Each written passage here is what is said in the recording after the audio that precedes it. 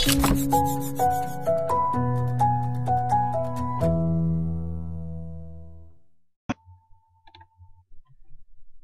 الله الرحمن الرحیم. فیلم چهارم از درس دینامیک رو در خدمت دوستان هستیم. در این قسمت یه تعداد مثال از حرکت مستقیم الخط ذره خدمت شما ارائه می‌کنیم. با این هدف که یه مقدار مباحثی که خدمت شما میگیم بیشتر برای شما جا بیفته. خب در این مثالی که اینجا ملاحظه می‌کنید یک هواپیمایی از سرعت صفر از ابتدای باند می‌خواد شروع به حرکت بکنه برسه به سرعت 250 کیلومتر بر ساعت.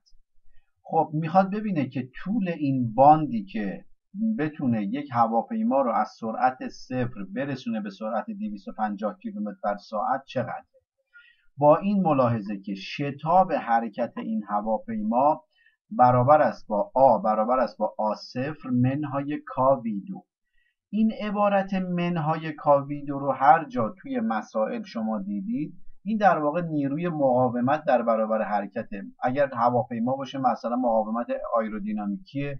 اگر یک جسمی در داخل آب باشه مقاومت هیدرودینامیکیه. یعنی مقاومت ناشی از هوای محیط یا سیال پیرامون هستش که در مقابل حرکت استکاک داره ایجاد می‌کنه. پس بنابراین آ برابر است با آ صفر منهای کاوی دو که در مسئله اومده توضیح داده که در واقع مقدار آ صفر مقدار ثابتی برابر با دو متر بر مجذور ثانیه هست. ضریب کا در اینجا برابر است با چهارصد هزارم در واقع یک بخش بر متر. و مقدار وی هم که خب در هر لحظه در حال افزایش هست و در هر لحظه داره تغییر می‌کنه. تا برسه به 250 کیلومتر بر ساعت که بتونه تیکاف رو انجام بده. حالا میگه که این طول باند برای اینکه بتونه برسه به این سرعت چقدر هستش این رو محاسبه بکنید. در دو حالت. اومده گفته در یک حالت فرض بکنید که در واقع ما اصلا نیروی مقاومت رو نداریم. این درگی که اینجا اومده گفته همین بحث درگ یا نیروی مقاومت حرکت این وجود نداره. در حالت ب مقاومت وجود داره. خب باید در واقع جواب متفاوت باشه که الان بررسی می‌کنیم که به چه صورت خواهد. خب مسئله ما پس مشخص میشه که ما در واقع ورودی ها و خروجی های مسئلهمون به چه صورت هست. نکنید ما در اینجا می‌بینیم که اومده یه سرعت اولیه داده یه سرعت ثانویه. یه شتاب هم اومده داده این شتاب رو توش بر حسب سرعت اومده داره آ رو به صورت تابعی از بی اومده بیان کرده چی رو می‌خواد مطلوبش چی هست مطلوبش اس هست. خب بدیهیه که ما اینجا نگاه می‌کنیم ببینیم که آیا بحثی از زمان گفته؟ میگیم نه. در جایی که ما بحثی از زمان نداشتیم کدوم رابطه رو استفاده می‌کردیم؟ همون رابطه مستقل از زمان رو. یعنی وی دی وی برابر است با آ دی اس خب چه اتفاقی میفته؟ میگیم در دو حالت مسئله رو بررسی می‌کنیم. در حالت اول که ما مقاومت نداریم در حالت دوم که مقاومت یا نیروی درگ رو داریم. خب اگه مقاومت نداشته باشیم که آ برابر است با آ صفر منهای کاوی دو این منهای کاوی دو در واقع هست میشه آ صفر میمونه. خب اگه آ صفر بمونه اینجا در رابطه وی دی وی برابر است با آ دی اس به جای آ همون آ صفر رو می‌ذاریم که برابر است با دو متر بر مجذور ثانیه. خب در ادامه حالا میایم از این چیکار می‌کنیم؟ انتگرال می‌گیریم. از اینجا عامل در واقع انتگرال ما در واقع وی هست دی وی رو اینجا داریم و در اینجا هم که اس هست. ما در اینجا آ صفر اینجا دیگه مشکل ایجاد نمی‌کنه. یک عدد ثابت هست برابر با دو. خب در اینجا میگیم وی دی وی رو ازش انتگرال می‌گیریم. میشه یک دوم وی دو منهای وی صفر دو برابر است با اینجا هم که آ صفر عدد ثابت هست میاد بیرون و انتگرال دی اس می‌شود خود اس اینجا می‌نویسیم. خب در اینجا الان جاگذاری می‌کنیم. فقط در این مسائل دقت داشته باشید که خدمت شما جلسه اول گفتیم که ما وقتی یک مسئله رو حل می‌کنیم به دیمانسیون ها باید دقت داشته باشیم. اگه از دیمانسیون مثلا ما اس آی استفاده می‌کنیم توش زمان ثانیه هست مثلا طول متر هست سرعت متر بر ثانیه هست شتاب متر بر مجذور ثانیه هست. کیلومتر رو نات و اینها رو ما برای سرعت باید تبدیل بکنیم. حالا در اینجا اومده گفته که سرعت ثانویه V2 منهای V02 V2 250 کیلومتر بر ساعت. اینو تبدیلش می‌کنیم. اینجا میگیم یک دوم. V2 250 ضرب در کیلومتر. هر کیلومتر چند متر هزار متر. اینجا بنویسیم هزار. بر ساعت. هر ساعت چند ثانیه شما در حسب متر بر ثانیه بنویسیم دیگه. هر ساعت 3600 ثانیه است.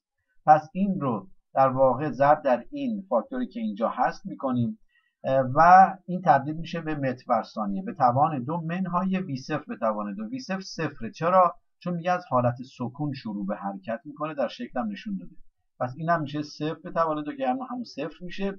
برابر است با آ صفر که برابر با دو هست ضرب در اس از اینجا اس به دست میاد 1206 متر.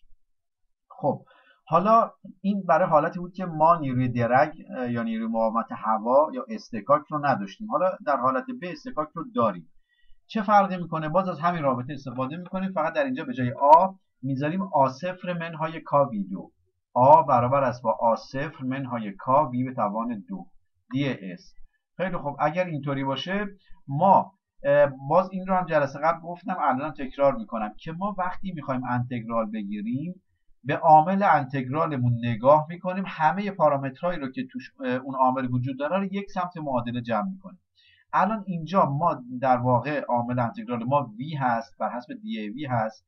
خب در این سمت معادله ما v رو داریم. کل این کسر رو عبارت رو می‌بریم در مخرج کسر. درسته؟ خب در اینجا عبارت وی دی وی رو که ما در صورت داریم خوب دقت کنید چه کار کرده. اینها رو اول میاره این طرف اینو میاره آصف منهای کاویدو رو میاره این طرف. اون طرف چی میمونه؟ دی اس فقط میمونه. انتگرال می‌گیره. نسبت به وی از کجا تا کجا؟ از وی صفر تا وی اونورم که خب اس از صفر تا اس خواهد. حالا در اینجا نگاه کنید ما یک وی به توان دو توی مخرج داریم. در اینجا دی وی داریم. خوب دقت کنید. وی دی وی در واقع مشتق چی هست؟ اگر یه یک دوم کنارش اضافه بکنیم در واقع یه دو در صورت یه دو در مخرج. دو تا وی دی وی چی هست؟ مشتق چیه؟ مشتق وی دو هست. یعنی به جای دو تا وی دی وی نوشته دی وی دو. الان دی وی دو شما مشتق بگیرید میشه دو وی دی وی درسته یا نه؟ خب. اون دوه در اینجا حذف شد اومد تو این رابطه دو مخرج. یعنی یه دو تو صورت اضافه کردیم یه دو در مخرج. هیچ فرقی نمی‌کنه. دو با دو ساده میشه. حالا این دوه رفته تو این رابطه. دو تا وی دی وی شده دی وی دو. در مخرج کت چی خواهیم داشت؟ این وقتی میاد در مخرج کت میشه دو. در آ صفر منهای کا وی دو. درست شد؟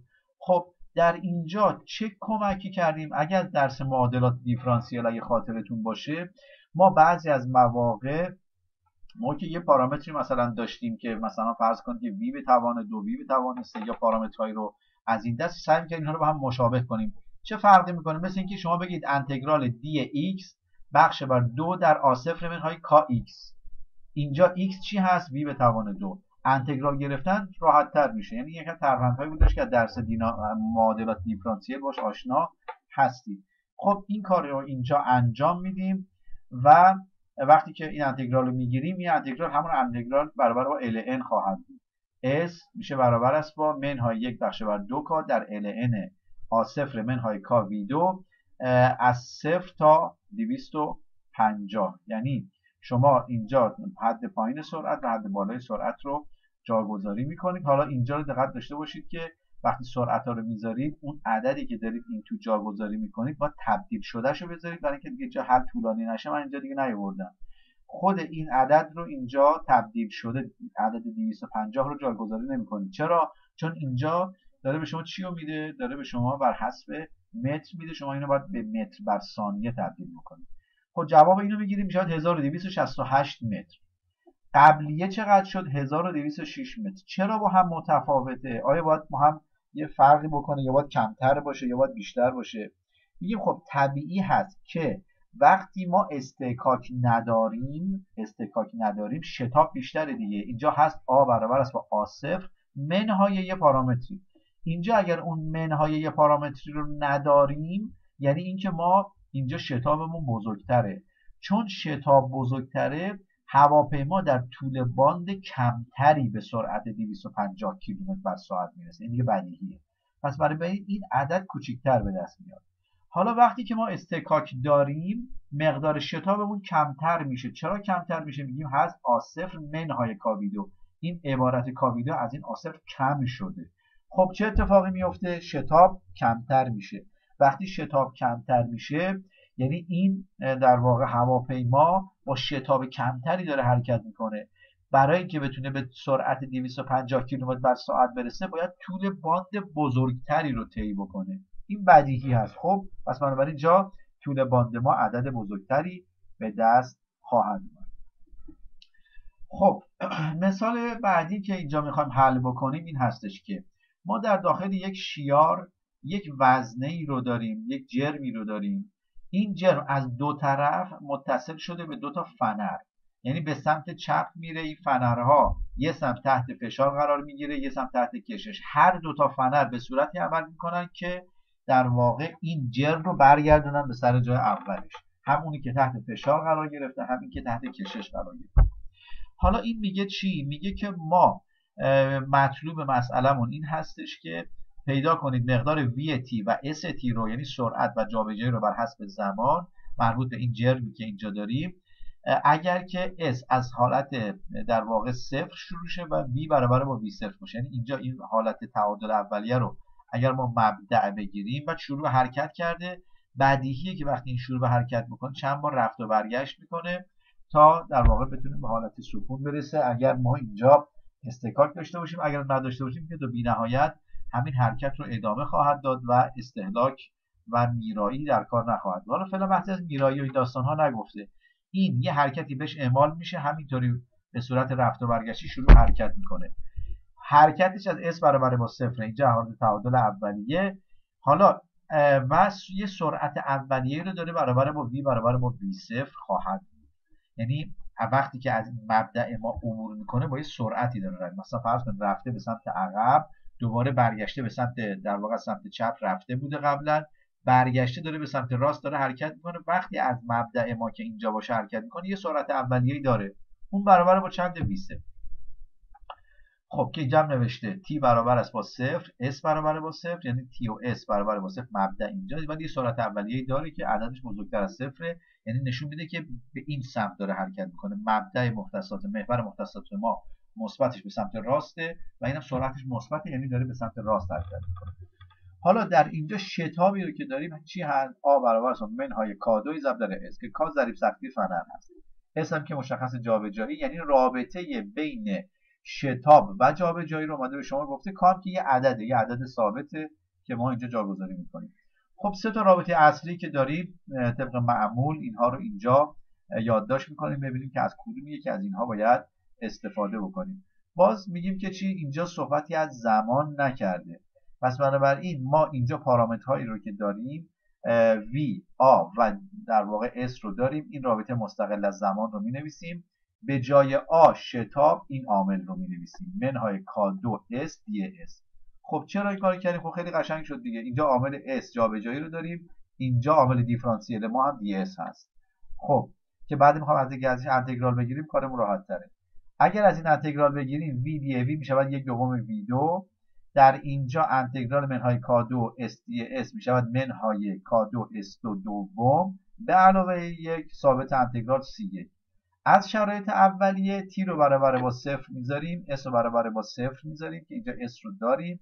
صفر یعنی عامل S رو داریم صفر می‌ذاریم. اینجا C1 می شود در واقع V0 به توان دو تقسیم بر دو. چرا؟ چون اینجا در, مب...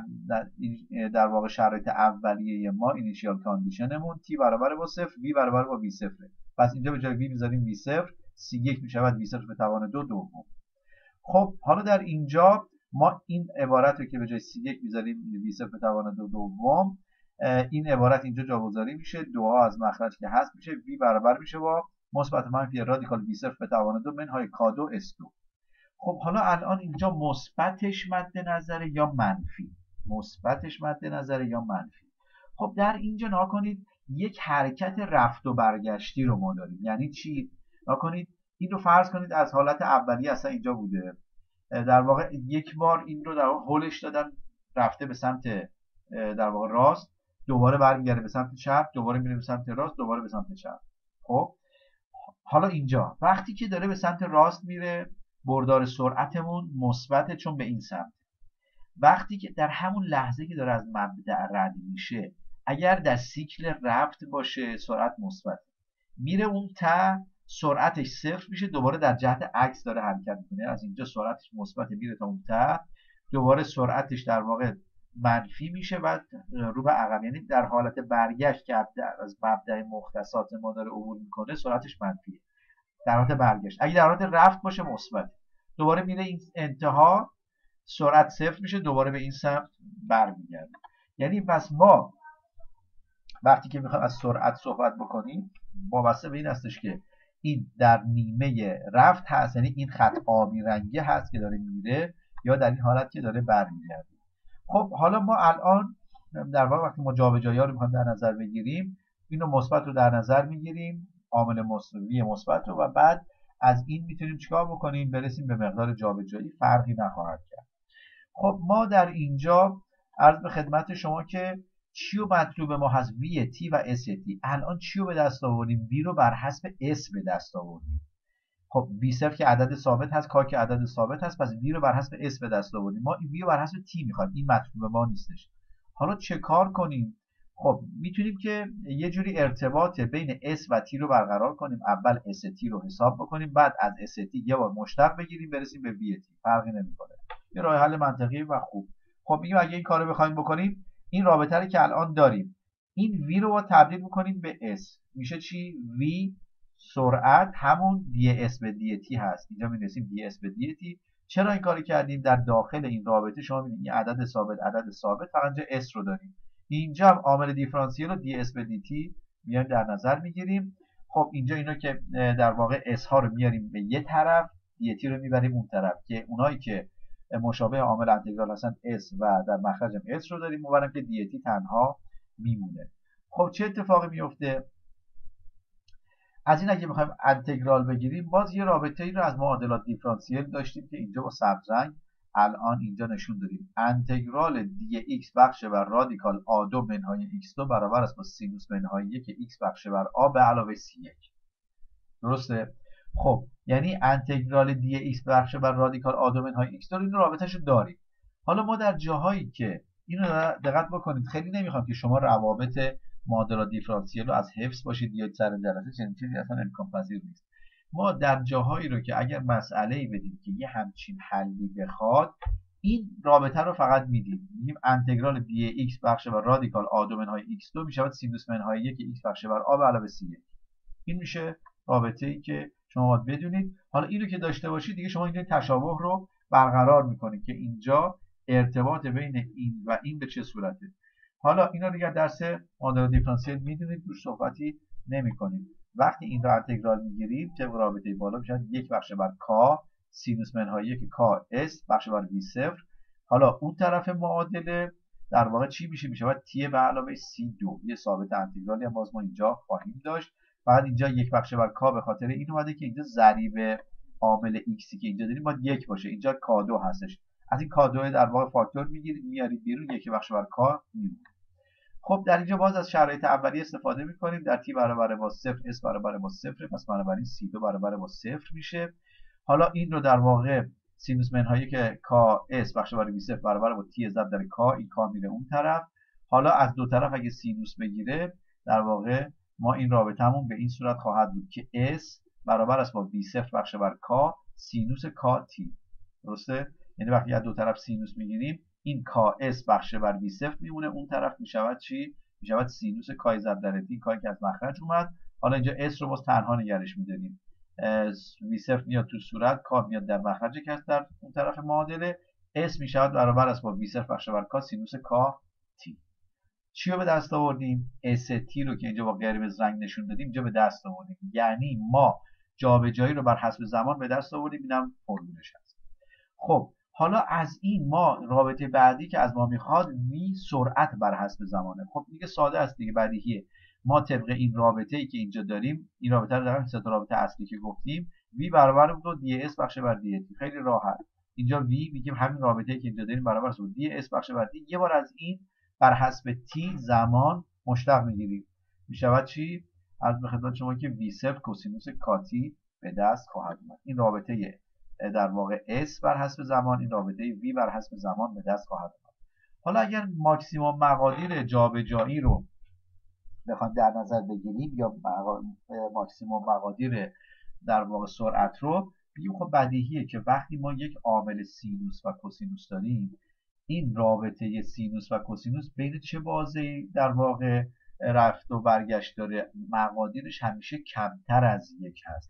یعنی از مثبت یک تا منفی یک این در واقع در حال رفت و برگشت هست. درسته؟ حالا ماکسیموم مقدار سینوس کاتی یا ماکسیموم مقدار کوسینوس کاتی چی میشه؟ میشه میشه مثبت یک؟ پس بنابراین بدیهیه که ما وقتی که اس ماکس رو داریم این عامل رو برابر با یک می‌ذاریم. اس ماکس می‌شود وی صفر بخش بر کا چه زمانی این اتفاق میفته وقتی که سینوس کاتی برابر با یک می‌شود. سینوس کاتی کی برابر با یک میشه؟ در حالتی که عرض به خدمت شما که این عامل داخل پرانتز برابر با پی دوم باشه. یعنی کادی کاتی برابر با پی دوم باشه یا تی بخش برابر باشه با پی بخش بر دو کا. حالا این یکی کی ماکسیموم میشه وقتی این کوسینوس کاتی برابر با یک باشه؟ کوسینوس کاتی کی برابر با صفر میشه وقتی که عامل کاتی برابر با صفر باشه یا مثلا پی باشه یا مثلا در واقع دو پی باشه یا سه پی باشه همینطور تا آخر. خب پس بنابراین ما اینجا وی برابر با وی صفر اگه این برابر با یک باشه ماکسیموم مقدارش میشه وی صفر. در چه زمانی؟ در شرایطی کاتی برابر با صفر یا دو پی باشه یعنی تی برابر با صفر یا پی بخش بر کا یا دو پی بخش بر کا همینطور تا آخر.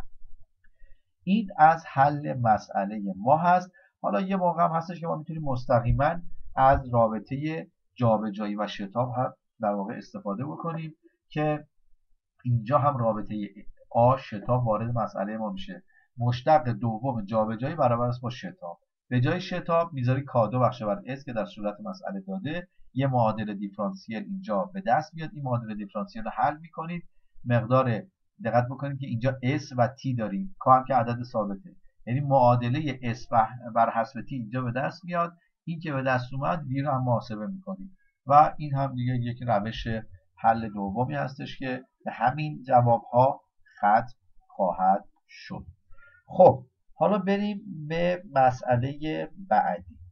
این مسئله چی میگه؟ میگه نها کنید ما یک توپی رو از روی زمین پرتاب می‌کنیم به سمت بالا با سرعت سی متر بر ثانیه.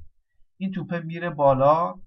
وقتی که این بالا به یک ارتفاعی رسید دوباره سقوط می‌کنه به سمت پایین میاد. چه موقع اونجا استوب می‌کنه به سمت پایین میاد؟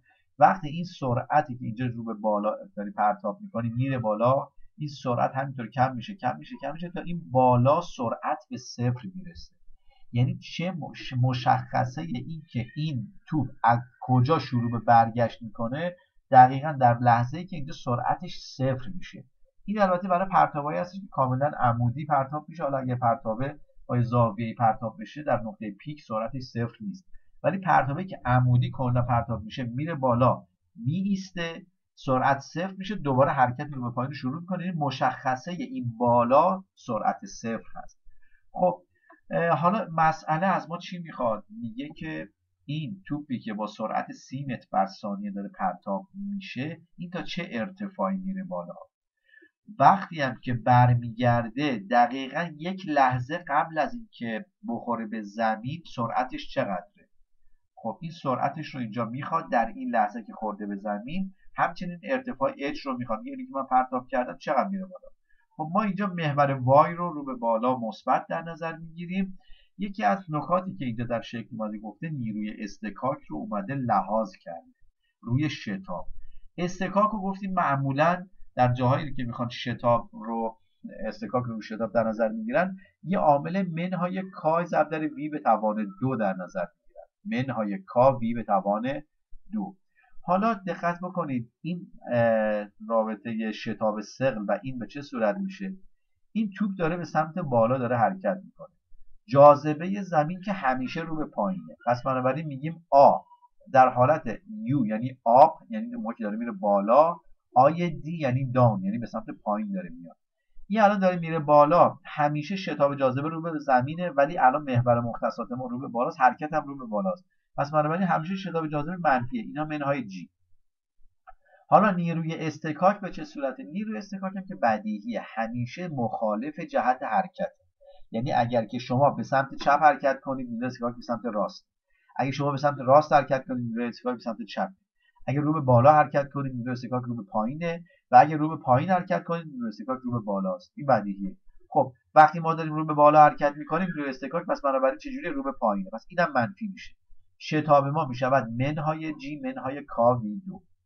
که اینجا جی که شتاب سقل 9 ممیز 81 متر بر مجذور ثانیه مقدار کای عدد ثابتی برابر با 6000 سرعت هم که سرعت حالا در مسیر برگشت به چه صورته؟ میگیم باز وقتی که داره میاد پایین در اینجا بازم شتاب سقل که همیشه ما جهت مثبت وای رو به بالاست. شتاب سقل که همیشه رو به پایینه. پس بازم منهای جی رو خواهیم داشت. پس بنابراین می منهای جی ظاهر میشه. اما نیروی استکاک به چه صورت میشه؟ توپ داره به سمت پایین حرکت می‌کنه. گفتیم همیشه استکاک مخالف جهت حرکته. یعنی اگر این داره رو به پایین حرکت می‌کنه نیروی استکاک رو به بالاست. در جهت مثبت وای هست. پس بنابراین میگیم اینجا میشه به علاوه کابیدو یعنی فرق در واقع مسیر رفت و مسیر برگشت هستش که اینجا رابطه شتاب رفت میشه. منهای جی منهای کابیدو در برگشت میشه منهای جی به علاوه کابیدو خب که کارم گفتیم که داریم جی هم که جی مشخص سرعت اولی هم که اینجا داریم. حالا ما سه تا رابطه اصلی رو باز اینجا می نویسیم باز دقت می‌کنیم ببینیم از کدوم رابطه استفاده کنیم. ببینیم بازم صحبتی از زمان نشده. چیزی هم از زمان نمی‌خواد. یه ارتفاعی که میره بالا رو به من بگو و اینکه موقعی که می‌خوره زمین چه سرعتی داره. خب اینجا حرکت در دو حالت حل می‌کنیم یکی مسیر رفت رو به بالا داره میره یکی مسیر برگشت که رو به پایین داره در مسیر برگشت رفت رو به بالا این رابطه مستقل از زمان رو چون بحثی از زمان در مسئله نداریم دیگه که از این استفاده کنیم و شتاب رو هم که اصلا داده یعنی دیگه مختص رابطه مستقل از زمان هست این شرایط وی برابر است با اس به جای آ این عبارت رو می‌ذاریم. منهای جی منهای کاوید و منهای جی منهای کاوید و اس دوباره ما اینجا اینجا چون وی رو این طرف داریم این عامل رو می‌بریم مثل مثال قبل. در مخرج که در سمت چپ اس رو یه طرف نگه میداریم. ازش که انتگرال می‌گیریم انتگرال سمت در واقع راست ما در واقع انتگرال دی اس یعنی اس اینجا جابجایی عمودی دیگه. یعنی شما اینجا وقتی که انتگرال می‌گیرید در کل مسیر رفت از اینجا تا این بالا اچ شما می‌شود چی؟ در واقع انتگرال دی اس شما می‌شود اس که همون اس ما اچ هست. فرقی نمی‌کنه. الان محور رو به صورت عمودی در نظر گرفتیم. در این سمت معادله هم که ما اینجا در واقع وی دی وی داریم و این عامل که میاد در مخرج کسر با یه علامت منفی که میشه جی به علاوه کا وی دو حالا از این که ما در واقع انتگرال بگیریم این انتگرال ما به این صورت میشه. منهای یک بخش بر دو کا. یه سمت معادله که اچ هیچی مشخصه. منهای یک بخش بر دو کا. در ال جی و علاوه کا وی صفر به توان دو. بازه انتگرال رو از چند می‌گیره؟ از وی صفر تا صفر. چرا از وی صفر تا صفر؟ گفتیم که اینجا سرعت اولیه با وی صفر شلیک شد پرتاب شد رو به بالا. این میره سرعت ثانویه ما کی هست؟ وقتی میریم در مسیر رفت یعنی این میره تا جایی که سرعتش صفر بشه. از جایی که سرعت صفر شد به بعد دیگه مسیر برگشته. خب پس بنابراین سرعت ثانویه ما میشه اینجا که صفره. پس بنابراین اینجا میشه بعد وی صفر سرعت اولیه تا سرعت ثانویه که صفره. اینو که ما جاگذاری بکنیم در نهایت به این می‌رسیم که یک بخش بر دو کا ال ان جی و علاوه کا وی صفر. دو بخش بر جی. این می‌شود ارتفاع این پرتابه وقتی میریم به اینجا. پارامترش هم مشخصه چیز خاصی نداره. کا عدد ثابتی که اینجا ما داریم. جی که شتاب سقل کا رو که باز داریم بی صفر هم که داریم جی هم که شتاب سقل عددش به دست میاد 36.5 متر. ارتفاع این در واقع پرتابه هستش که می‌تونه تا این ارتفاع برسه. حالا ما در مسیر برگشت رو می‌خوایم بررسی بکنیم. که چی رو به دست بیاریم؟ از مسیر برگشت باید سرعت برخورد به زمین رو به دست بیاریم. دوباره همین رابطه رو می v دی v برابر است با a دی s به جای a حالا این شتاب رو می‌ذاریم. منهای جی به علاوه کاویدو منهای جی به علاوه کاویدو دی اس دوباره همون کار رو می‌کنیم وی رو جمع می‌کنیم یه طرف اس رو یه طرف. فقط فرق این حالت با حالت قبل چی هست؟ ما در اینجا h رو نداشتیم و در واقع h رو به دست آوردیم.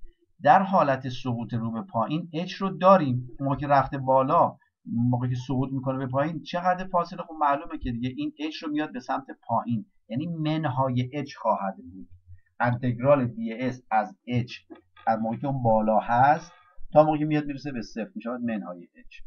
درست این انتگرال بگیم میشه منهای h. خب حالا اون طرف معادله چی رو داریم؟ چی رو می‌خوایم؟ اون طرف معادله v رو می‌خواهیم. V رو می‌خوایم. معلوم شد. این طرف رابطه مشخص سمت راست مشخص در سمت چپ رو داریم. اینجا v مطلوب ما هست. انتگرال رو بازه انتگرال از چند تا چند می‌گیریم؟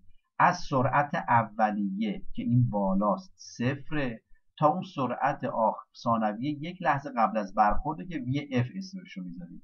پس بازه‌ی انتگرال ما می‌شود از صفر تا وی اف و این رابطه وی کا وی دو منهای جی دی وی که انتگرالش رو می‌گیریم. انتگرال این رو برابر میشه با یک بخش بر دو کا ال ان کا وی دو منهای جی از صفر تا وی اف و حالا این رابطهش هم که دوباره ما جاگذاریش رو که انجام میدیم در نهایت می‌رسیم به یک بخش بر دو کا ال ان.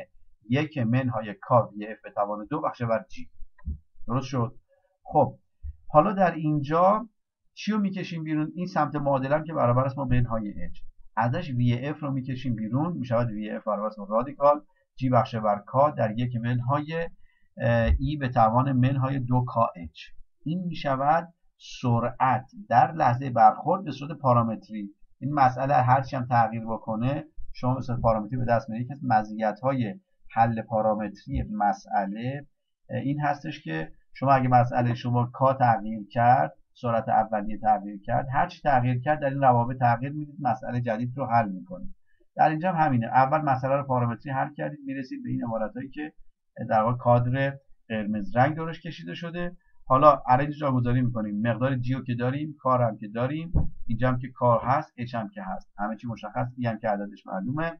می‌شود 24 ممیز یک متر بر ثانیه.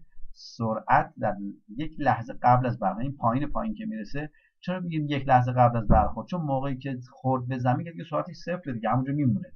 چون یا میمونه یا باز برمیگرده بالا تو اون لحظه قبل از اینکه برگرده بالا سرعتش صفر شده دیگه. پس بنابراین میگیم یک لحظه قبل از برخورد. این هم مسئله دیگه که اینجا گفتیم خدمت شما بگیم. خب اما مثال بعد. خب در این مثال چی میگه؟ میگه که x t برابر است با دو تی دو منهای 24 تی به علاوه 6 یعنی مقدار جابجایی یک جسم متحرک رو معادلش رو داده. از مرتبه 3 هست. دو تی 3 منهای 24 تی به علاوه 6 خب حالا در اینجا عرض به خدمت شما که میگه یک. مقدار تی رو محاسبه بکنید وقتی که سرعت به 72 متر بر ثانیه می‌رسه. یعنی چقدر طول می‌کشه تا سرعت این جسم متحرک به 72 متر بر ثانیه برسه؟ سوال دومش اینه که مقدار شتاب وقتی سرعت به 32 متر بر ثانیه می‌رسه مقدار شتاب چقدر؟ سوال سومش این هست که میگه که کل مسافت طی شده دقت بکنید نمیگه کلا مقدار جابجایی. یعنی تفاضل حالت اولیه و ثانویه رو نمیگه. کل مسافتی که این پرتابه داره طی می‌کنه در بازه زمانی یک ثانیه تا چهار ثانیه چقدره؟ خب حالا نها کنید ما این رو در اینجا یک محور ایکسی رو داریم که اینجا تعریف شده. یک جسم متحرک داریم بر حسب زمان داره تغییر می‌کنه. اول قسمت یک رو حلش رو ببینیم به چه صورت هست. صحبت از سرعت کرده. معادله جابجایی رو بر حسب زمان داده. خب بدیهیه که ما از این یه مشتق می‌گیریم. از این x t می‌شود v x حالا v x بخاطر در راستای x هست.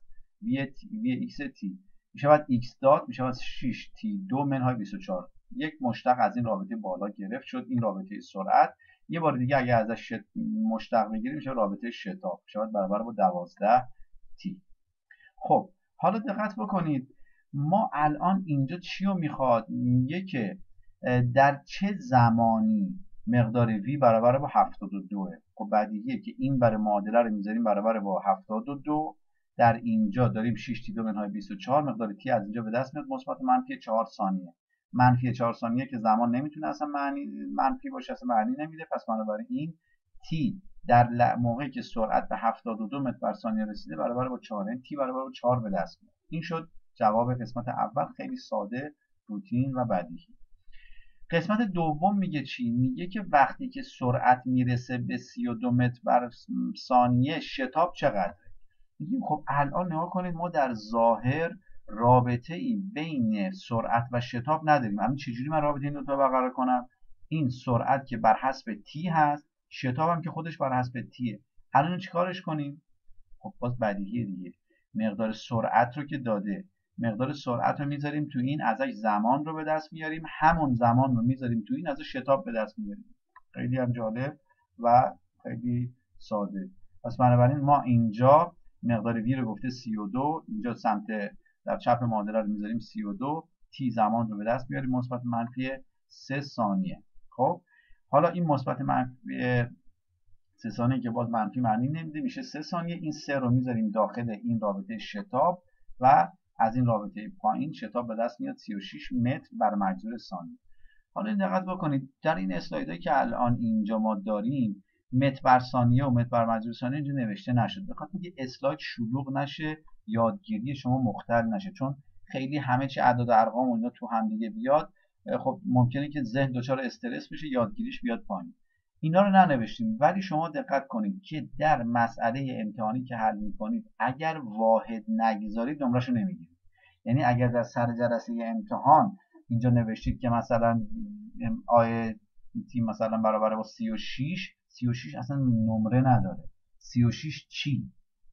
36 کیلومتر بر مثلا مجبور ساعت کیلومتر بر ثانیه هست نات یا مثلا واحدهای در واقع فوت بر مجبور ثانیه هست. چیه این؟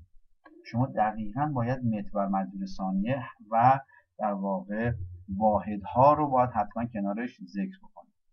می‌رسیم به حالت این قسمت دوم خیلی ساده شد. اما در قسمت سوم یه نکته ای وجود داره که این نکته رو باید یه مقداری حواستون باشه تا مسئلهتون اشتباه نشه. در ظاهر میگه چی؟ میگه که خب مسافت کل طی شد کل مسافت طی شده در بازه یک ثانیه تا چهار ثانیه. میگیم خیلی خب خیلی ساده و راحت. این میگه چی؟ میگه یعنی برابر با x 4 در t برابر با 4 ثانیه منهای x برابر با زمان یک ثانیه. این دوتا رو x از هم دیگه کم می‌کنیم. این میشه چی؟ t رو برابر با 4 ثانیه می‌ذاریم در اینجا. مقدار x رو به دست میاریم می‌شود 38 در اینجا t رو برابر با یک می‌ذاریم و مقدارش رو به دست میاریم برابر با منهای 16 درسته؟ از همدیگه کم می‌کنیم می‌شود 38 به علاوه 16 می‌شود 54 متر. خب؟ خب این که الان خیلی ساده شده یعنی در این رابطه حالت ثانویه ما تی گذاشتیم 4 حالت اولیه تی رو گذاشتیم یک دو تا x به دست از همدیگه کمش کردیم شد 54 متر. ولی این آیا کل مسافت طی شده هست؟ توتال دیستنس ما همینه میگیم نه. این رو شاید هم باشه نمی‌دونیم باید بررسی کنیم. خب یعنی چی بررسی کنیم؟ چه کار باید بکنیم؟ میگیم نها کنید وقتی که ما اینو می نویسیم ما در اینجا دقت نهات اولیه گفتیم در t برابر با 4 x شد 38 اینو گذاشتیم 4 x به دست 38 این حالت زمان ثانیه زمان اولیه ما t برابر با یک ثانیه s به دست اومده چند؟ منهای 16 s به دست اومده منهای 16 منتها دقت کنید مثل این مثال قبلی که من برای شما تو بنره و اون جرم ذکر کردم این بستگی داره به این که یه احتمالی وجود داره که این صلاح داره فرض کنید به این سمت داره حرکت می‌کنه یعنی سرعت حرکت این به سمت چپ در لحظه تی برابر با یک یا به سمت راست. اگه به سمت راست باشه اینی که ما الان حل کردیم و رابطه ای که اینجا به دست آوردیم درسته. ولی اگر این سرعتش به سمت چپ باشه یعنی در تی برابر با یک ثانیه حرکت کرده یه مسافتی رو رفته به سمت چپ دوباره برگشته به سمت راست. چرا این احتمال وجود داره؟ چون اینجا رابطه جابجایی شما رابطه خطی مثبت نیست. رابطه درجه سه ماکسیموم مینیموم داره. ممکنه که چند تا در واقع نقاط عطف حتی داشته باشه. پس بنابراین در جایی که معادله شما یک معادله ثابت یا در واقع معادله خطی نیست حالت غیر خطی گرفته باید حواستون به این نکاتش باشه. خب پس الان اینی که الان ما حساب کردیم چی بود؟ میگیم این نت دیسپلیسمنته. جابجایی خالصش چقدره؟ خب تفاضل مکان اولی و مکان ثانوی که اگر این سرعت در این نقطه به سمت راست باشه با این جواب ما همون total distance ما خواهد کل جابجایی انجام شده با این net displacement یکسان خواهد این اینجا حرکت کرده رفته اینجا. حالا فرض کنیم اون حالتی که گفتم درست باشه. اگر اون حالت درست باشه ما اینجا total distance رو حساب نکنیم کل مسافت طی شده نیست. این پس مسئله ما نمی‌تونه جواب داشته باشه.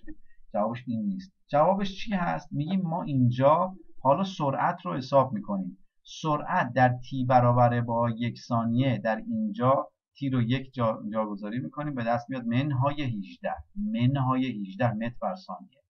اینجا چی کار می‌کنیم؟ اینجا اول میداریم تی رو برابر با چهار می‌ذاریم در این رابطه.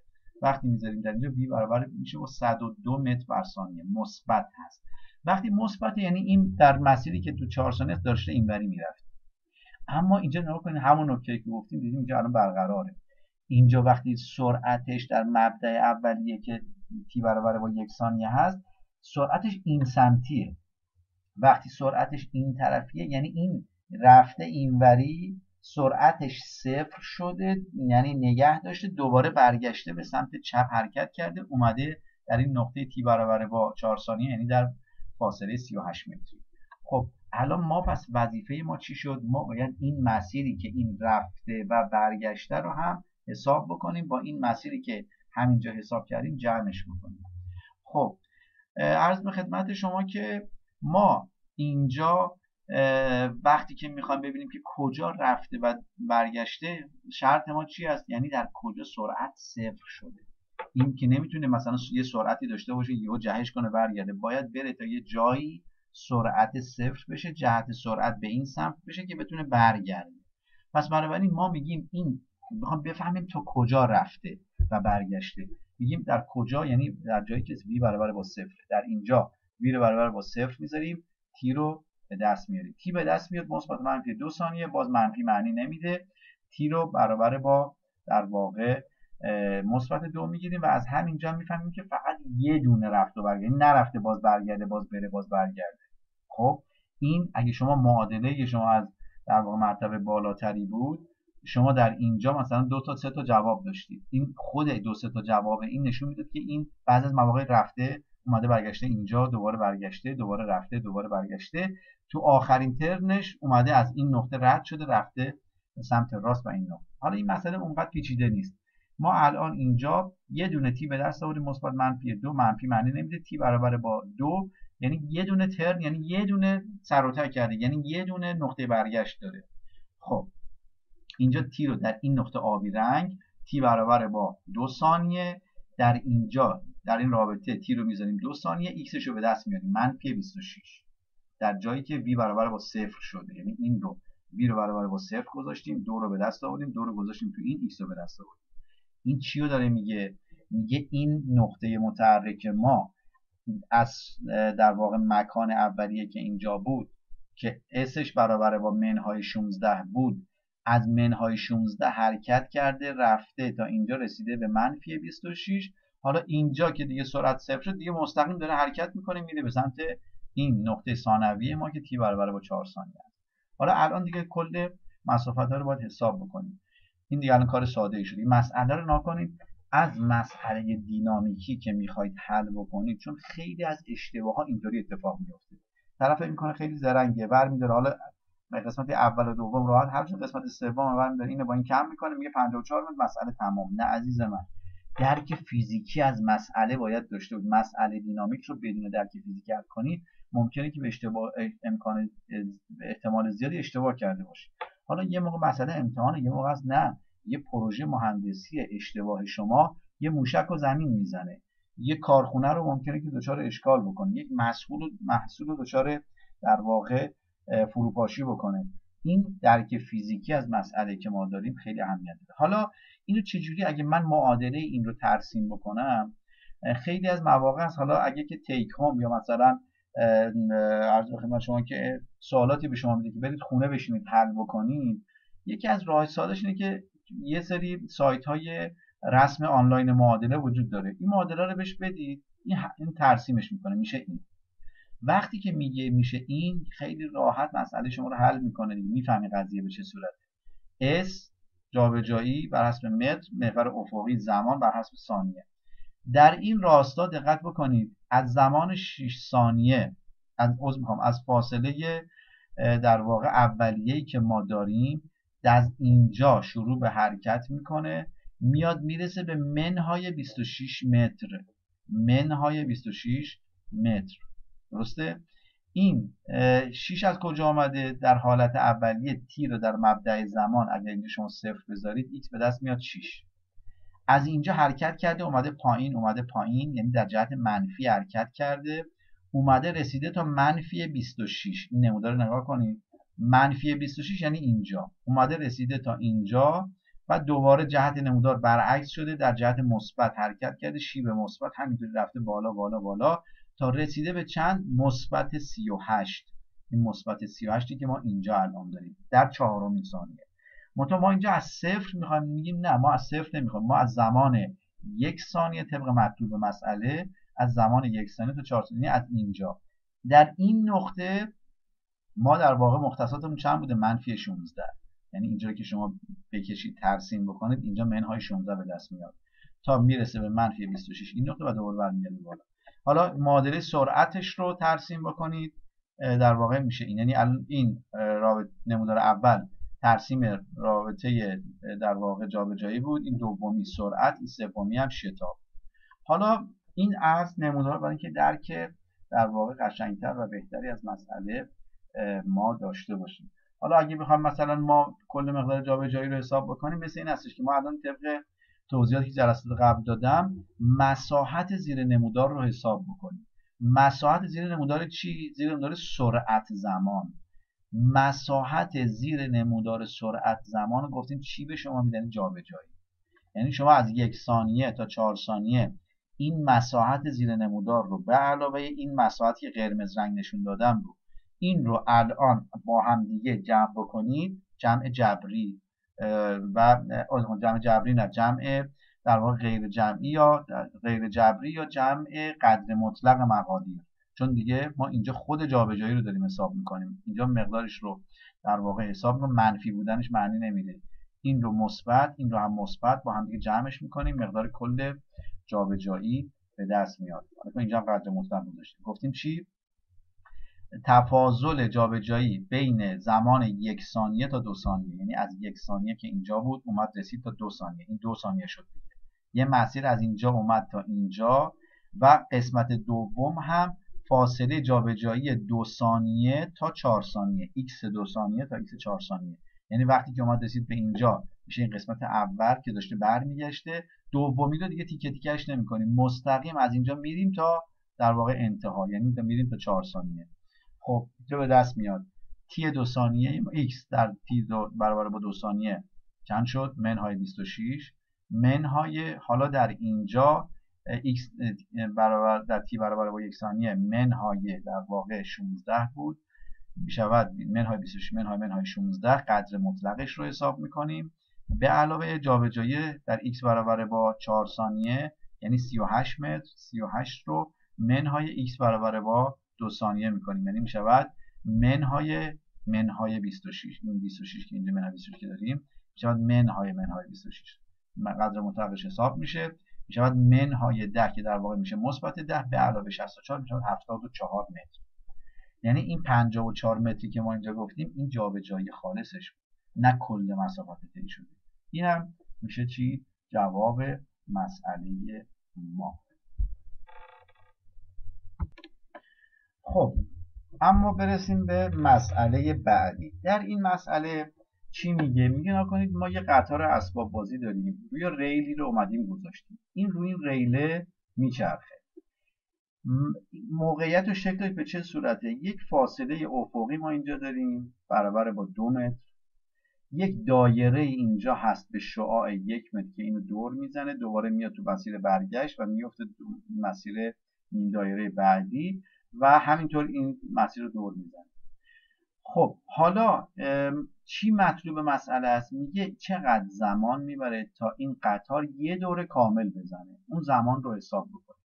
منتها با چه شرطی؟ اومده گفته که سرعت این قطار با توجه به این نمودار متفاوت یعنی سرعتی سرعت ثابت نیست. چجوری داره تغییر می‌کنه؟ نکنید مبدع اس رو از اینجا گرفته. ما هم میگیم الان محور افقیمون S distance متر هست بر حسب متر و در واقع سرعت V بر حسب متر بر ثانیه از صفر شروع می‌کنیم. صفرش اینجاست. از اینجا شروع کرده. یک فاصله افقی تا دو متر رو رفته چون این فاصله دو متره سرعتی ثابت بوده. 25 صدم متر بر ثانیه. از اینجا وقتی وارد این نیم دایره میشه یعنی از دو تا دوی به علاوه پی دوم. پی دوم یعنی چی؟ یعنی شما اینجا این مسافت رو به اندازه پی دوم اومده تا اینجا رسیده. تا اینجا که میاد سرعت کاهشیه می‌رسه تا 125 هزارم. از اینجا که پی دوم هست تا پی دوم بعدی که بهش اضافه میشه یعنی از اینجا تا اینجا می‌شود دو به علاوه پی دوم. به علاوه یه پی دوم دیگه می‌شود دو به علاوه پی. یعنی از اینجا اومده به اینجا یعنی از این نقطه اومده رسیده به اینجا. سرعتش در اینجا چجوری بوده؟ سرعتش افزایشی بوده. یعنی از 125 هزارم تا 25 صدم اومده رسیده اینجا خب از اینجا به بعد چجوریه اینجا دیگه با سرعتش اینجا مسیر ما کاملا افقیه مثل این حالت دوباره در اینجا هم در مسیر برگشت داره برمیگرده. و اینجا دقت بکنید که مقادیر دیگه به صورت مثبت و منفی نشون نداده سرعت ها رو همه رو قدر مطلق سرعت ها رو اومده نشون داده. در اینجا باز دور سرعتی ثابته. دوباره اومده رسیده در واقع به یک پی دومی که طی می‌کنه. از اینجا که سرعت اینجا دو به علاوه در واقع پی بود در ابتدای این یه دو دیگه اینجا بهش اضافه میشه به 4 به علاوه پی. وقتی از اینجا می‌خواد شروع کنه بیاد تا اینجا یه پی دوم دیگه اضافه میشه. این 4 به علاوه پی میشه بعد 2 به علاوه 3 پی دوم. عرض به خدمت شما که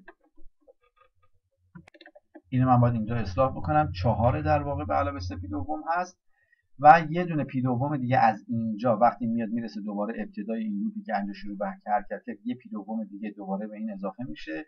وقتی ما به این یه پی دوم دیگه اضافه کنیم 4 به علاوه 3 پی دوم میشه 4 به علاوه 2 اینجا سرعتش دوباره چی؟ افزایشی. این تیکه کاهشی بود این دوباره افزایشی میشه. خب حالا میگه که پس بنابراین اول مسئله رو درک کردیم که نمودار سرعتی که ورودی مسئله است داره به ما میده چجوری داره تغییر می‌کنه با توجه به این شکل. حالا ما این مسئله رو چجوری می‌خوایم حل کنیم؟ آیا این مسئله که ما اینجا داریم یک حرکت مستقیم الخطه؟ چون مثالایی که الان دارم خدمت شما میگم مثالای مربوط به قسمت مست... حرکت مستقیم الخطه. چرا اومدیم حرکت در واقع دایره ای رو پس گفتیم؟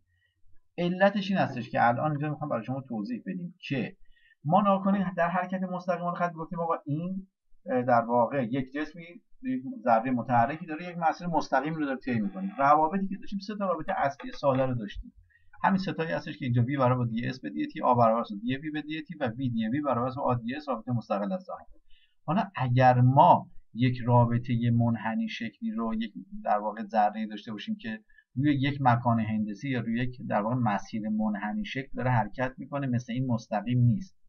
ولی در هر لحظه ما مشخصات مکان، سرعت و شتاب رو داشته باشیم. آیا می‌تونیم از این روابط مستقیم الخط استفاده کنیم؟ بله. یعنی ما وقتی که لحظه به لحظه در هر مکانی که دلمون بخواد مکان که مشخص سرعت و شتاب رو هم داشته باشیم همین روابط رو می‌تونیم استفاده کنیم. این میشه همین مسئله ما.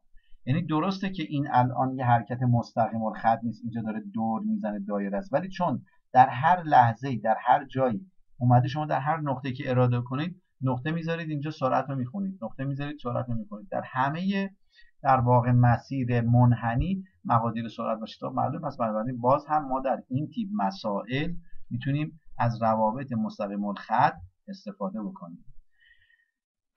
خب که این رو هم در واقع اینجا توضیح دادیم که به چه صورت هستش. خب پس اگر که این در واقع باشه ما مسئله رو حل می‌کنیم فقط دقت بکنیم که ما اینجا آی که شتابی که داریم میگیم شتاب کل نیستش که یک میانگینی بگیریم در واقع از تفاضل سرعت اولیه و ثانیه تقسیم بر زمان بکنیم. نه در هر نقطه و در هر لحظه مثلا شتاب رو داده باشه یا در هر لحظه سرعت رو داده باشه در اون شرایط می‌تونیم از این استفاده کنیم. خب حالا اگه اینطوری شد مسئله ساده شد دیگه. بریم سراغ حل. سه تا رابطه اصلی رو این بالا دوباره می نویسیم فکر می‌کنیم ببینیم که خب الان باید کدوم از این استفاده بکنیم. می‌بینیم که ما در اینجا داده های مسئله ما چی هست؟ میگیم یه دونه سرعت در اینجا در واقع اومده داده. در این فاصله افقی که داره میاد سرعت ما ثابته. اینجا مشخصه. سرعت چقدر برابر با 25 صدم متر بر ثانیه. خب ما اینجا یک طول دو متر رو داریم. زمان می‌خوام ببینیم چقدر طول می‌کشه یه قطار از اینجا بیاد تا اینجا. خیلی بدیهی دلتا تی برابر است با x بخش بر v سرعت. X چی هست؟ X ما برابر با دو متر طبق چیزی که رو شکل داریم. سرعت ما طبق چیزی که اینجا داریم ثابت برابر با 25 در واقع صدام متر بر ثانیه فقط برای این تیکه رو داریم ثابت. اینجا در فاصله صفر تا دو متر زمانمون اینجا چی میشه؟ به دست میاد. به این صورت. حالا میفتیم تو این پی دوم. وقتی که از اینجا عبور می‌کنه میاد وارد این مسیر پی دومی که اینجا هست میشه. خب در اینجا چه اتفاقی میفته؟ ما میگیم که نها کنید در واقع این چیزی که ما الان اینجا داریم نمودار سرعت در واقع فاصله یا VS رو ما داریم. یا در واقع اگه تفاضلات رو در نظر بگیریم سرعت جابجایی رو ما داریم. در اینجا مساحت زیر این نمودار به شما چی رو میده؟ v ضرب در چی؟ VS اینجا سرعت ضرب در المان محور افقی که میشه بعد S این میشه مساحت این زیر نمودار. شیب این نمودار چی رو به شما میده؟ شیب این نمودار دی وی به دی اس. محور عمودیمون وی هست محور افقیمون اس هست. تغییرات محور عمودی تقسیم بر محور تغییرات محور افقی دی وی به دی اس. می‌شود شیب این منحنی در هر نقطه‌ای که بخواید حساب بکنید از این رابطه به دست میاد. خب حالا الان اینجا دی به دی اس برابر است با آ بخش بر این چی از کجا اومد؟ همین رابطه است دیگه. همین رابطه مستقل از زمان دی وی بخش بر دی اس برابر است با آ بخش بر خب آیا ما در اینجا مقدار شیب نمودار رو داریم؟ ببین بله داریم دیگه. این چیزی که اینجا هست مشخصه. در هر نقطه اینجا که شیب صفر اینجا شیب صفر اینجا منفی اینجا شیب مثبته. دقیقا هم مشخصه که به چه و در هر بازه زمانی که الان ما در اینجا هستیم در قسمت سبز رنگ که اینجا نشون دادیم اینجا خط ثابت خط صافه. این شیب شیب ثابتیه. منحنی نیستش که باز بگیم شیبش در هر لحظه. از اینجا که شما شروع به حرکت می‌کنید تا این انتها شیبش ثابت و مشخصه. این شیبش چجوری به دست میاد؟ خب بدیهیه ما اینجا الان اینو میگیم که در واقع تفاضل مقادیر محور عمودی بخشی بر محور افقی. خب در اینجا ما این رو راحت به دست میاریم. می‌شود 125 هزارم این مقدار ثانویه که اینجا داریم در محور وای. منهای مقدار اولیه برابر با 25 صدم تفاضل این در محور افقی از این نقطه تا این نقطه می شود دو به علاوه پی دوم. منهای دو می شود پی دوم. این میشه تو مخرج. و این مقدار هم کوچکتر از صفر به دست میاد چون 125 هزار منهای 25 صدم می شود منهای 125 هزار. عددش کوچکتر از یکی. خب باید کوچکتر از یک باشه بله دیگه اینجا الان وقتی که شیب به سمت پایین منفیه با چی بشه؟ منفی باشه. خب حالا پس بنابراین این عدد ثابت ما اینجا عددش رو به دست آوردیم. مسئله چی شد؟ اینو دیگه می‌ذاریم کنار. آ بخش این رابطه بین شتاب و سرعت ما به دست آوردیم. آ برابر است با سی ضرب در وی. آ برابر است با این سی شد دیگه. این یعنی سی سی ضرب در وی میشه این رابطه که ما اینجا داریم. حالا خود مقدار شتاب در واقع چی هست تعریفش؟ طبق رابطه که اینجا الان ما داریم آ برابر است با دی وی به دی تی دی وی به دی تی اینجا ما می‌ذاریم. اینجا دوباره ویا رو جمع می‌کنیم یه طرف تی و یه طرف. اینجا دی تی برابر میشه با یک بخش بر سی در دی وی بخش بر وی خب این اگه از انتگرال بگیریم این طرف که میشه دلتا تی برابر یک بخش بر سی باز این رابطه ln هست انتگرالش. Ln وی در بازه سرعت ثانویه‌ای که داریم از سرعت اولیه تا سرعت ثانویه. سرعت اولیه‌مون چقدر 25 صدم جنا کنید این سبز رنگ از اینجا که شروع کنیم سرعت اولیه 25 صدام هست تا این آخر که می‌رسه به 125 هزارم که مقدار کوچکتری هست. خب این از این. این مقدار رو می‌تونیم یک بخش بر سی. سی رو از کجا میاریم سی هم که اینجا عددش معلوم شد. حالا جاگذاری می‌کنیم. دلتا تی برابر است با یک بخش بر سی. این عبارتی که اینجا بود. در ln در واقع 125 صدم. تقسیم بر 125 هزار تقسیم بر 25 صدم. جواب می‌شود پی بخش بر 25 صدم ln 2 این می‌شود دلتای تی این عدد دیگه عدد مشخصه. اینجا زمان به دست اومد. از اینجا تا اینجا. زمان به دست اومد. دو بخش برای 25 صدم. زمان این سبز رنگی از اینجا تا اینجا به دست اومد. پی ln دو بخش برای 25 صدم.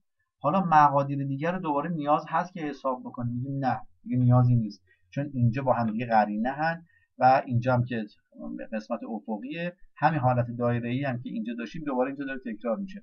پس بنابراین مسئله رو همین تکرار می‌کنیم همین مقادیر رو همین زمانی که اینجا داشتیم. چون مطلوب مسئله چی بود؟ می‌گفت مشخص کنید زمان چقدر هست برای اینکه این ترن یه دور کامل بتونه بزنه. خب اینجا مشخص شد دیگه. الان اینجا این یه مسیر رو اینجا میره همین رو تکرار می‌کنه اینجا همین در این پی دوم و همین هم در پی دوم بعد این داره چهار بار تکرار میشه.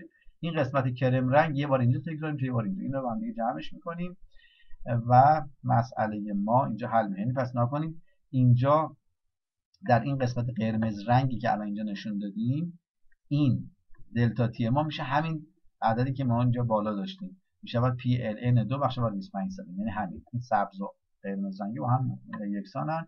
و یه بار دیگه این ته گفتیم که تکرار میشه. پس بنابراین دلتا تی زمان کل برای اینکه این قطار بتونه دور کامل بزنه میشه دوی ضرب داره چرا دوی ضرب؟ یعنی ما اینو حساب کردیم. این کرم رنگه به علاوه سبز رنگ به علاوه این قرمز رنگه رو با هم جمع می‌کنیم ضرب در دو می‌کنیم. چون دقیقا همین اینجا تکرار میشه. بعد دو بخش بر 25 صدم. این کرم رنگه به علاوه پی ال ان 2 25 صدم سبز رنگه به علاوه پی ال ان 2 این قرمز رنگه. این یه مسیر بعد یه مسیر هم تکرار میشه. ضرب در دو هم که اینجا داریم. این میشه جواب مسئله ما. یعنی اینقدر زمان طول می‌کشه تا این قطار یک دور کامل بزنه. این هم از مسئله ما. و اینجا هم باز دوباره شما حالا این کتاب مریام رو هم که نگاه بکنید مسائل متعددی رو در جای مختلف گفته. کنید شکل و شمایل مسئله متفاوته. یکی از چیزهایی که با دقت بکنید در مسائل دینامیک یه مقداری ترستون رو باید کنترل بکنید تمرکز حواستون رو در واقع داشته باشید. مسئله همونه. و من الان اصلی ترین حالت هایی که میشه مسئله داد رو دارم براتون سر کلاس دارم حل می‌کنم دیگه. درسته؟ حالا همون رو ممکنه که یه هواپیما رو بده بگه آقا استکاک داره که آ برابر با منهای کاویدو ممکنه یه پرتابه مثل رو به بالا که گفتم میره بالا سرعتش صفر میشه برگرده باشه یا یه گلوله ای که داخل یک استخر شلیک میشه و یک گلوله داره این مسیر طی می‌کنه. فرقی نمی‌کنه. شما اصطلاحا میگیم گیج نشید در دینامیک. اگه هول شدید گیج شدید دست خود گم کردی مسئله رو کلا باختید هیچ چیزی نکنید. دقیقا نمونه مثال هایی که به شما دادیم روش چند بار خودتون حل بکنید. نکنید دوستان اینها رو من بهتون بگم حل مسئله که اینجا هست. اگر این مسئله رو ده بار 15 بارم از روش نگاه بکنی مطمئن نباش که یاد گرفتی. شما این مسئله رو یک بار تو کاغذ بنویس این مسئله رو بذار کنار جوابش رو خودت شروع به حل کن. اگر موفق به حلش شدی اون موقع یاد گرفت در مورد مسائل دیگه هم که این من دارم اینجا برای شما حل می‌کنم چون از همینا امتحان میدم. نصف سوالاتتون از همین چیزایی که اینجا دارم حل می‌کنم. ده و گرفتی. اصلا نمی‌خواد بری مریامو بخونی. اصلا نمی‌خواد بری مسئله حل کنی. نمی‌خوام عذابتون بدیم نمی‌خوام اذیتتون کنیم وظیفه دارید این حد هایی رو که من دارم از مسئله حل می‌کنم باید یاد بگیرید خوشت بیاد نیاد. هر جوری باشه باید اینا رو یاد بگیرید حالا الان همین ها رو حداقل خودتون یک بار حل کنید. ما الان مواردی شده که دانشجو میاد میگه این درس افتاده. سر جلسه امتحان مثلا از 100 درصد نمره 10 درصدش هم نگرفت. میگه باور کنید من تمام این مسائل رو نگاه کردم. میگم نگاه کردن به درد نمی‌خوره. باید دست به قلم بشید خودکاربندی کاغذ بردارید. اینو ببندید بذارید کنار. لپتاپ رو ببندید شروع کنید خودتون به حل. اگر تونستی به این جواب آخری که اینجا من نوشتم برسی یعنی که یه چیزایی فهمیدی. اگر نتونی که این مسئله رو اصلا همینجوری روخونی کردی. این هم از این مسئله ما و انشالله حالا برای اینکه نمره کاملتر و بیشتری رو بخواد بگیرید انشالله مسائل هم برید؟ یه سری بزنید خیلی کار خاصی نداره یه گشتی تو اینا بزنید خود انبساط فکری برای شما ما همیشه میدیم همیشه همه درس ها انبساط فکری ایجاد نمی‌کنه. مغز شما رو بزرگ نمی‌کنه. به فکر شما عمر نمیده. بعضی از درس ها این مشخص دارن. دینامیک درسی هستش که اگر بخواید انبساط فکری براتون ایجاد بشه مغزتون رو رشد بکنه این دینامیک دقیقا جای همین کار هست. انشالله این رو امتحان کنید اما در چند دقیقه تعمل این جلسه می‌خوایم در واقع به شما یادآوری بکنیم که ما ایرانی ها فرهنگ هدیه دادن کتاب در ما بسیار ضعیف هست و این یک اشکال بزرگی هست. شاید مثلا میریم برای دوستانمون رفقامون پول میدیم اتکلون می‌خریم چه می‌دونم گل می‌خریم چیزای دیگه می‌خریم ولی این فرهنگ رو نداریم که کتاب بخریم هدیه الان کتاب با توجه به قیمتی که داره یک هدیه نفیس و یک هدیه ارزشمند حساب میشه. شاید همین یه دونه کتابی که شما به دوستتون هدیه می‌دید شاید سرنوشتش رو در زندگیش عوض بکنه. من خودم در دوران دبیرستان که بودم یکی از دوستان من یک کتابی رو به من هدیه داد به نام پرواز تا بینهایت. این پرواز تا بینهایت زندگی من رو تغییر داد. من این هدیه رو از دوستم گرفتم. خیلی هم همیشه قدردانش هستم. کتاب و کتابخانی باید وارد فرهنگ و زندگی ما ایرانیا بشه که متاسفانه نیست. الان شما نکنید سرانه مطالعه در کشور مختلف رو نگاه کنید. در همین هندی که ما مثلا میگیم که اینها مغز ندارن این فیلم هندی ها چه چیزای تخیلی رو می‌سازن ولی همینها یکی از بالاترین رکوردهای مطالعه رو دارن. وقتی میگیم مطالعه به این مفهوم استاندارد که یک کتابی رو از ابتدا تا انتهاش با یک هدف مشخص مطالعه بشه. نه اینکه مثلا شما اس رو بخونید این پیام های در واقع فضای مجازی رو اینا مطالعه حساب نمیشه. در ایران ما نگاه کنید با این همه ادعایی که داریم مطالعه ما زمانش 13 دقیقه هست در روز. درسته؟ هندی ها 112 دقیقه ژاپنی ها 92 دقیقه چینی ها 74 دقیقه. آیا کشوری که فرهنگ مطالعه در کار روزمرش نیست امکان رشد داره؟ مشخصه که خیلی خب و شاید یه روزی برسه که همین در واقع موبایل ها و نوتبوک و لپتاپی که داریم ما رو واقعا از یک مطالعه دور کرده. بگونه که شاید اگه یه زمان یک کتابی بچه های ما ببینن و ازش تعجب بکنن. همه چی رو فکر می‌کنن این گوشی هست اینطوری نیست. ما باید حتما مراجعه کنیم به کتاب. نمی‌شود یک کتاب 500 صفحه رو با گوشی خون یا ما فایلش رو داریم دانلود می‌کنیم. چه چیزی اصلا محاله. چش از بین میره انسان خسته میشه. جایگاه کتاب هیچ موقع نباید از بین بره. و نکته آخری که می‌خوام خدمت شما بگم این هستش که یکی از کارهای زیبایی که در خارج از کشور در کل دنیا مرسومه و در ایران نیست این هستش که کتابهای دست دوم خودشون رو هدیه میدن. یعنی شما یک کتابی رو که در قفسه کتابخونه مثلا دارید هیچ اشکالی نداره. صفحه اولش رو امضا بکنید بدید نفر بعدی. اون دو سال سه سال این کتاب رو داره شیش ماه داره مطالعه می‌کنه یه امضا می‌کنه میده نفر بعدی.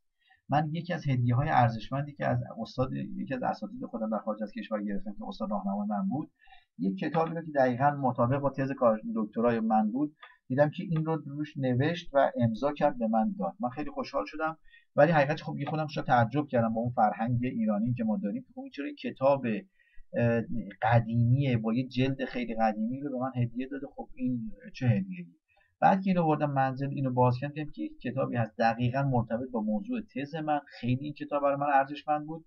صفحه اولش هم که نگاه کردم دیدم که 7 8 تا امضا روی این هست. یعنی در سالهای مختلف در واقع یک دوستی هدیه داده بود به یکی دیگه اون یکی امضا کرده بود داده بود به یکی دیگه و اتفاقا از دستی که چرخیده بود مشخص بود که این کتاب چقدر کتاب ارزشمندیه و چه آدمهایی رو خوندن. ما متاسفانه ایرانی ها اینو ننگ می‌دونیم. ما کتاب رو حاضر در قفسه کتابامون باشه.